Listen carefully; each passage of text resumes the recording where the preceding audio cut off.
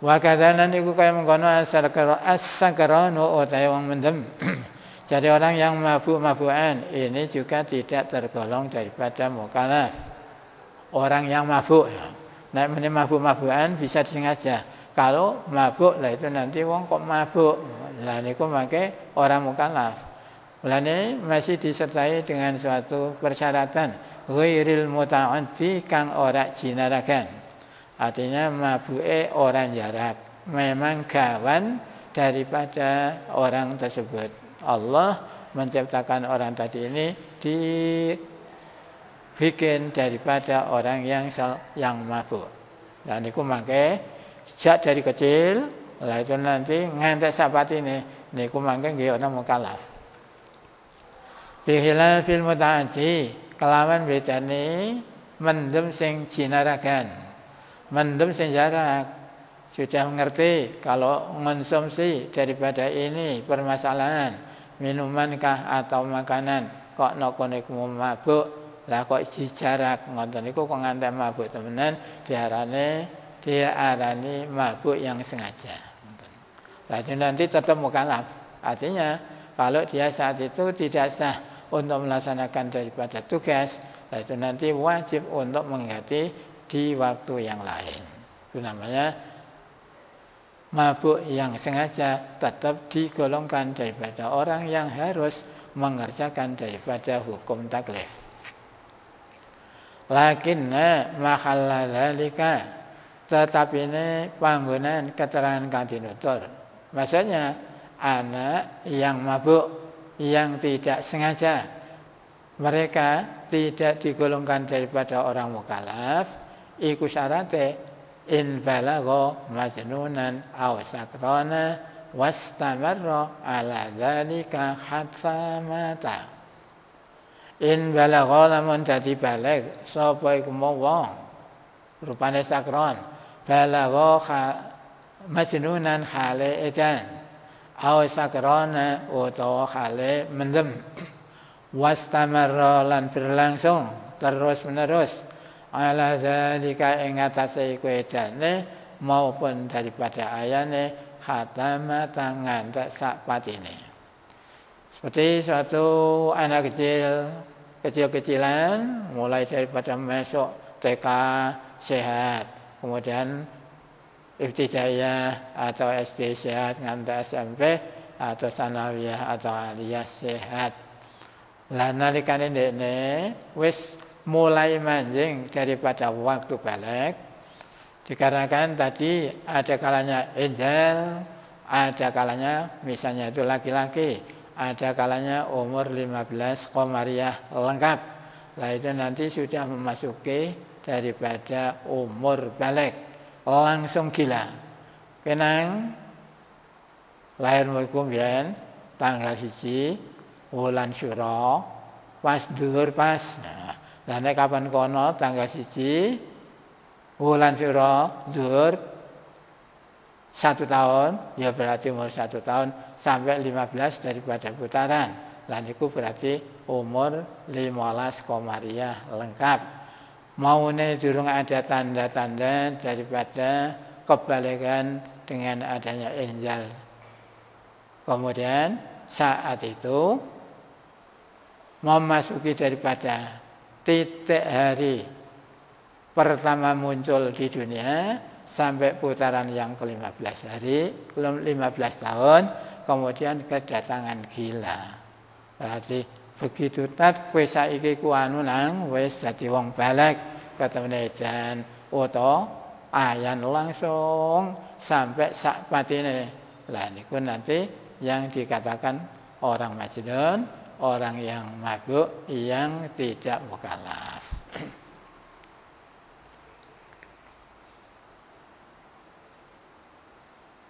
Fi khilafi ma kelawan bedani keterangan lau balagha upamane dadi baligh sapa sapi aqilan hale berakal sehat. Umur dari kecil sehat akal Manda umur 15 akal sehat nganda 16 17 18 19 20 sehat nah ini berarti balik dan berotak sehat. Bareng wis dadi wong berotak sehat, dadaan Allah memberikan daripada suatu nasib summa junna dadaan dadi edan. Lamun ora dadi edan, au sakara utawa dadi wong mendem. Waktu balik wis enak-enakan, ora beriman, ora beramal soleh. Kidarani wa kana ghairu mu'minin wa mata kadzalika fahuwa ghairu najin.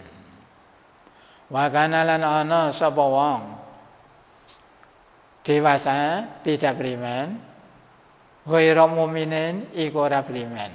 Wa mata lan sing mati sapa wong rupane balik dewasa men, dewasa dalam keadaan sehat akal kemudian Allah memberikan suatu penyakit gila. Wa matalan mati kadzalika kaya mengkono ora beriman fahuwa najin. Ghairu najin. Mongko utawi wong kanthi nutur iku ghairu najin ora direken wong sing selamat teko neraka.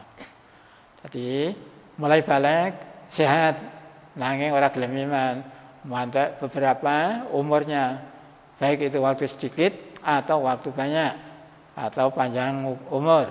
Nah itu nanti kalau di dalam waktu balik yang berotak sehat tidak beriman sehingga dia itu mati tetap akan meringkuk di dalam api neraka. Wa jalan ke jaba billadzi kelawan wong. Balagat kang tumeka ing wong. Apa ad-da'watu ta'wai rasul?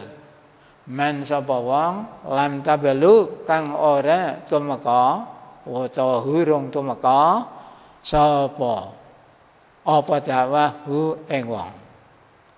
Kalau orang tadi ini belum pernah kedatangan daripada ajaran-ajaran Islam baik daripada para ulama kalau masa sekarang lah itu nanti terkecualikan.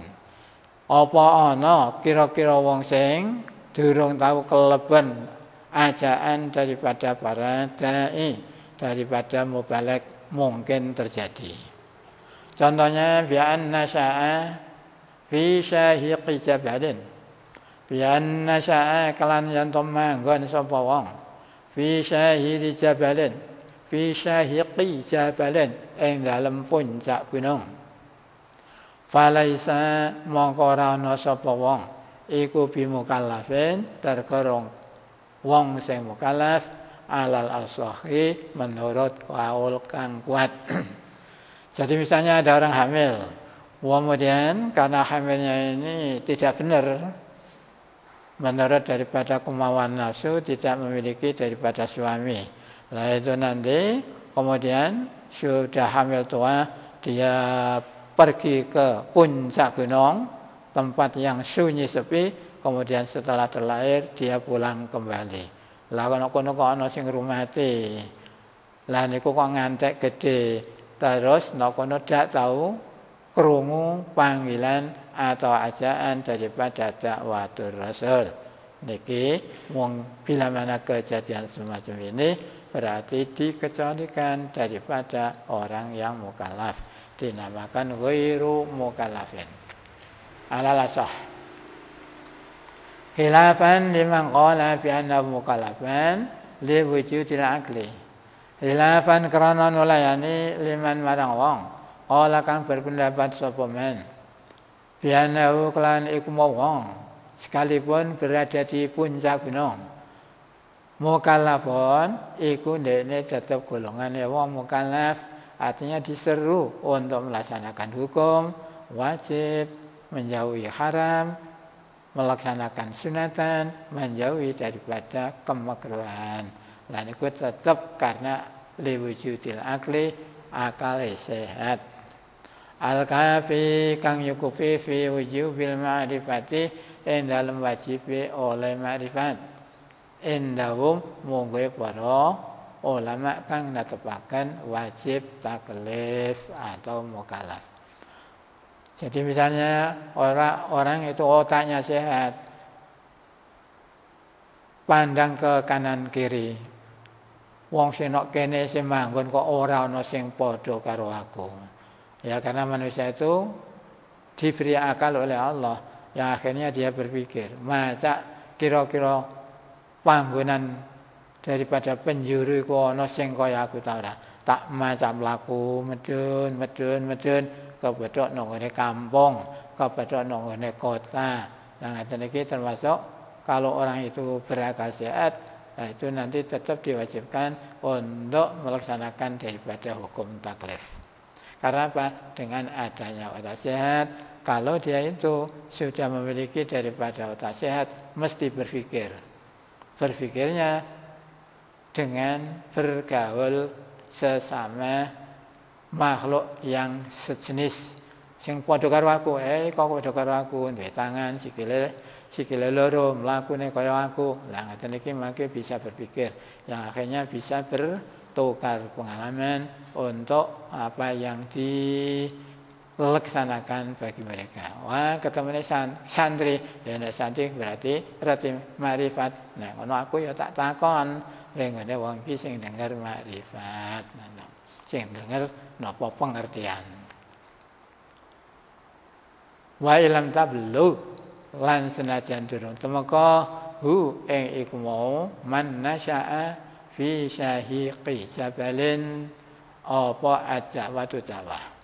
Jadi sekalipun pernah belum pernah kejadian daripada mendengar keterangan-keterangan daripada mubalek atau dai wa nasirati bulu tawati lan iku ing atase oleh nyaratno tumekane dakwah Fal yakfi mongko apa ta ana? Ana apa dak? Eh, fal yakfi mongko apa ta cukup? Apa bulu da'wati tumekane dakwah? Bulu da'wati ayyi nabiyin tumekane dakwahe endi nabi. Walau sayyidana Adam senajan dakwai Sayyidina Adam atau Nabi Allah Adam. Teko Nabi Adam?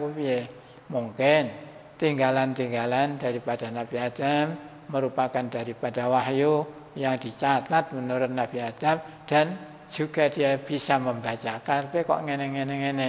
Eh, iki aku paham. Nah, iki termasuk apa itu namanya? bisa diarahkan dakwah daripada Nabi sekalipun dia itu tidak menangi. Mereka napa li anna tauhid krana sunne tauhid. Laisa iku rana apa tauhid. Iku amron khoson. Amron iku perkara khoson kang khusus biadhil ummati kelawan iki umat aula buddha utawa kudu utawa wajib min bulughi da'watir rasuli sangking tumekane dakwah rasul alladzi ursila kang den utus sapa rasul ilaihi marang wong. Jadi rasul niku dari sejak daripada awal manusia Nabiullah Adam muncul awalul basar kemudian beliau diangkat menjadi rasul tujuan daripada rasul Allah ngendikan wa ma arsalna bir rasulin illa nuhi ilaihi annahu la ilaha illa ana fa'budun. Allah ngendikan dak ngutus ingsun ing rasul kejaba angger rasul mesti tak paringi wahyu yen to ora ana pangeran kejaba ingsun mulane fa'budune mongko becik padha nyembah sira kabeh ing ingsun ini berarti manusia pertama yang diajarkan adalah Rasul. Demikian juga sampai selanjutnya di bawah Nabi Idris, Nabi Nuh, ngantek sampai Nabi Muhammad, Nabi Isa. Lah niku ajaran tetap beriman. Harus menyembah kepada Allah. Nah ini berarti yang diajarkan oleh segenap para rasul adalah ilmu tauhid. Berarti ilmu tauhid bukan suatu pelajaran khusus yang disampaikan Rasul kita sekalian. Cuma Rasul kita itu menyempurnakan daripada hukum yang sudah dilakukan oleh segenap para utusan. Lain apa ngono apa piye? Wattaqiku. Jadi misalnya ini, karena Rasul itu apa itu namanya ada yang bersamaan seperti Nabi Ibrahim bersamaan dengan putra beliau. Nabi Ibrahim masih gesang. Kemudian Nabi Ismail diangkat jadi nabi, jadi rasul. Kemudian Nabi Ishak, Nabi Yakub. Kemudian cucu Nabi Nabi Yusuf juga jadi utusan. Nah nanti daripada belakang-belakangan Nabi Musa bersamaan dengan saudaranya Nabi Harun Sakpurun. Kemudian ada Nabi Yahya, ada Nabi Zakaria merupakan daripada suatu anak bersama orang tuanya.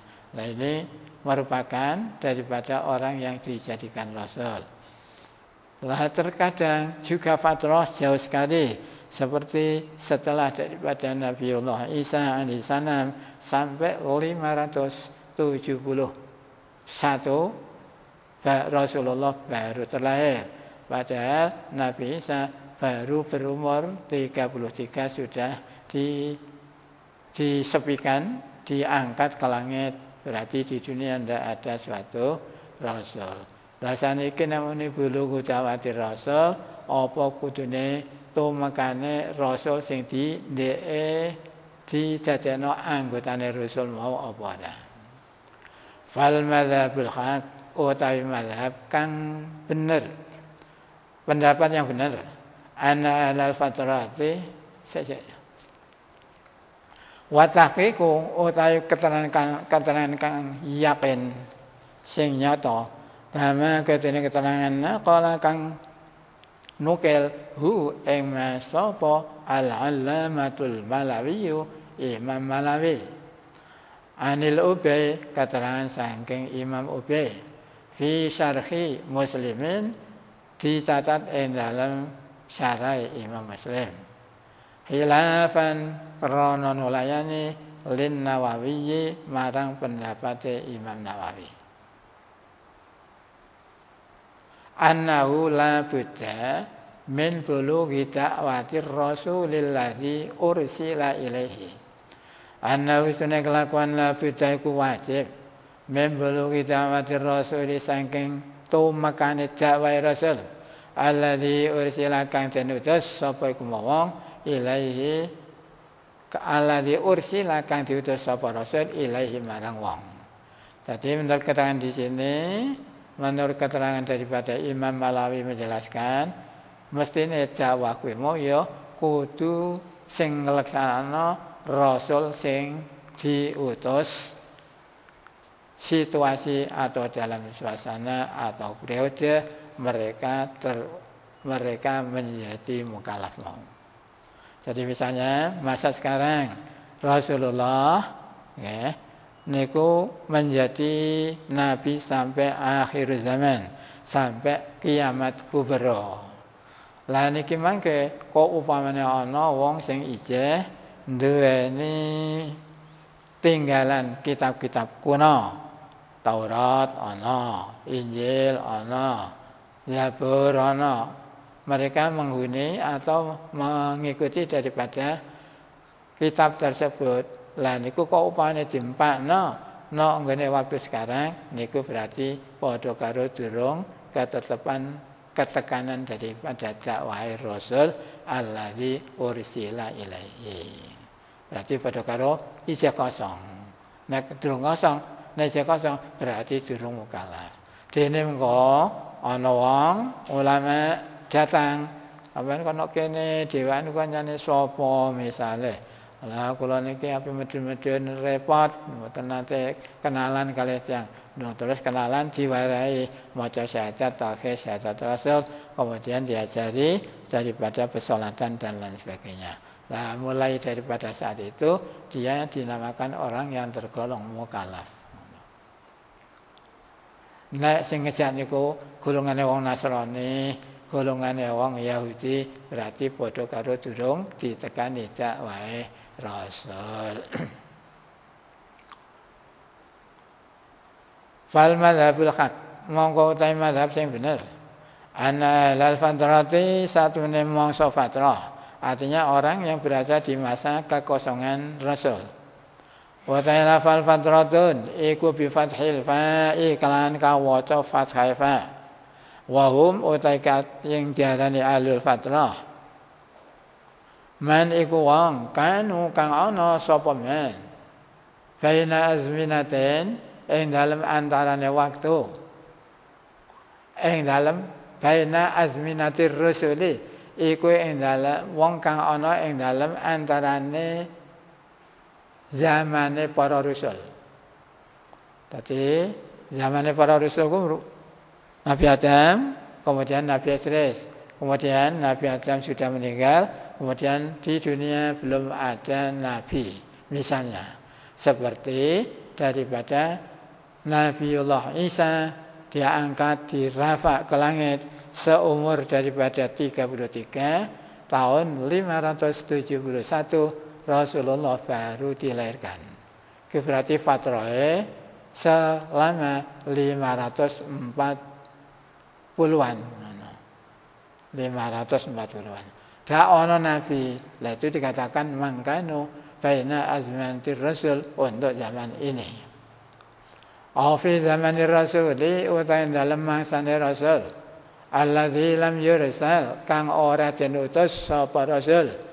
Ilaihim marang wong-wong iku najuna wong-wong kang padha selamat saking neraka. Seperti orang Indonesia, orang Indonesia ini berarti tidak ada.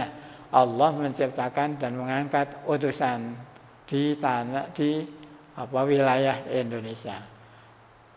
Allah mengutus daripada para utusan kebanyakan di sebelah timur tengah.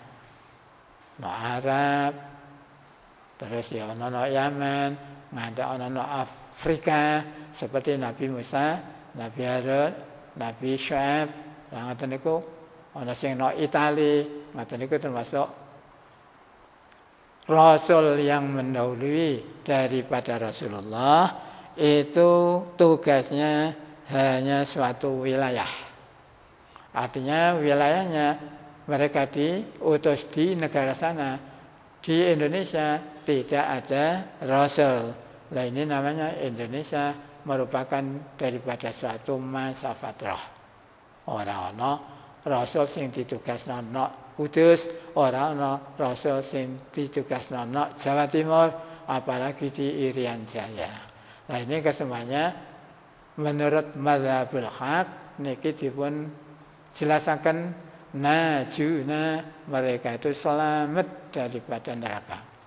Jadi nenek moyang daripada orang-orang Indonesia ini tidak ada keturunan-keturunan yang dipimpin oleh para utusan.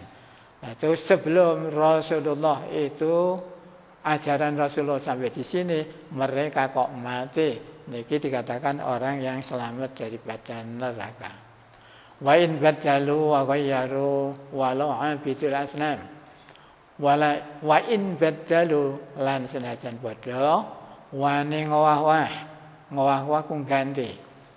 Kebanyakan orang tadi ini karena diberi akal oleh Allah memahami daripada bahasa kitab Taurat, bahasa kitab Injil, bahasa kitab Zabur. Peninggalan kitab daripada Nabi Ibrahim masih ada, kemudian bisa memahami. Nah kemudian mereka itu merubah daripada suatu redaksi-redaksi atau dawah-dawah yang ditetapkan dari situ. Kalau mereka itu terdapat di masa fatrah tetap selamat daripada api neraka. Akhiri dengan sekian. Semoga ada berkah dan ada manfaat. Akhirul kalam. Subhana rabbika rabbil izzati amma yasifun. Wa salamun alal mursalin. Walhamdulillah